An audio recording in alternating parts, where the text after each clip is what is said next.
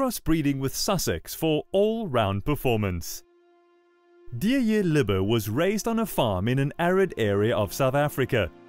In 2016, he decided to begin farming with Nguni and Sanga type cattle as the Christiana district is a relatively low rainfall area. These cattle proved to be the best choice for him as they are highly adaptable to different grass types and conditions. Deer soon realized, however, that he needed to increase profitability, but preferably without losing the adaptability of the indigenous breed. He needed to improve his weaner calves in terms of their weans weights and also wanted to retain some of the heifer calves for replacements. In 2018, he introduced Sussex bulls into his herd with very satisfactory results.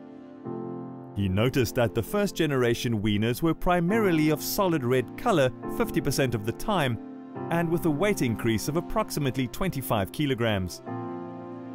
With the second generation, he achieved his goal to breed a uniform group of calves with a red coat and at the same time to significantly increase the calves' weaning weights. There was also a big improvement in the general conformation and capacity in the weaners. Huge success has been achieved historically in crossbreeding the Sussex with indigenous cattle, including Bonsmaras in the more arid areas.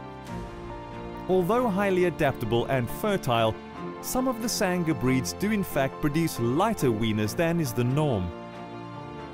Sussex Bull's introduction into the herd resulted in marked increase in weaner weight, uniformity of colour and quality of the replacement heifers, mainly due to the prepotency found in this old purebred breed. The challenge with crossbreeding is that consideration must be given to both superior weaners and, at the same time, superior replacement heifers. The Sussex breed is a medium frame breed, yet they produce excellent weaners and replacement heifers. This balance is carried over to the progeny and with a good measure of heterosis makes the Sussex an excellent choice in any crossbreeding program. In the South African beef industry, it is common knowledge that there is a preference for red cattle. Their heat tolerance ability has not been scientifically proven but the reality is that uniform red animals are preferred. As Sussex is largely dominant in this respect, they will introduce a dark red colour into any indigenous herd with great success.